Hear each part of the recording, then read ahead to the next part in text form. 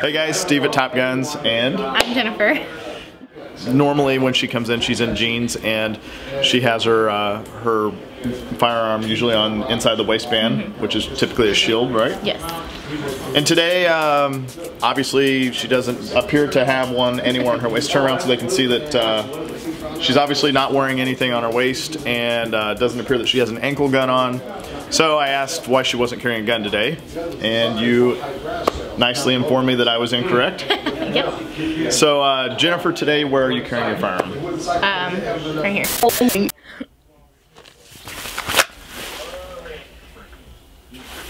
We do sell a holster here that, and there's a, quite a few companies out there that make them, but the one that we typically carry is the Flashbang.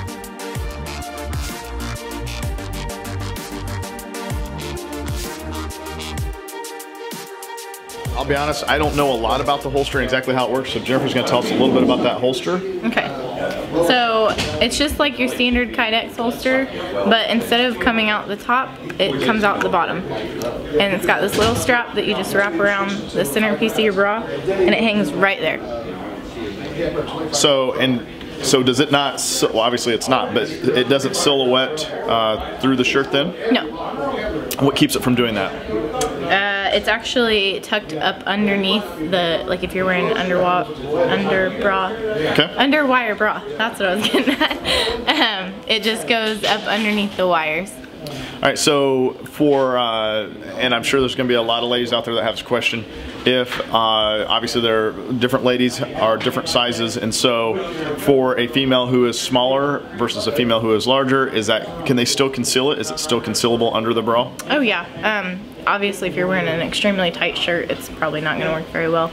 But uh, the looser the shirt, the and the smaller the gun, even. Anyway, nonetheless, that is the flashbang holster.